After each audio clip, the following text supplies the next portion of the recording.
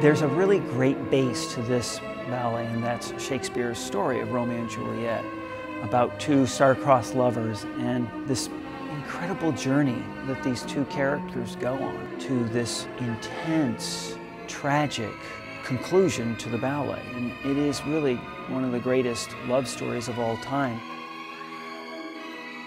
We spend six hours a day working on a production, and a production like this will spend at least four weeks. My goal is to get the information to the dancers as quick as possible so that then the secondary part is once they learn this, the information, it has to go from here into the rest of their body uh, and become muscle memory and not brain memory, but become part of them.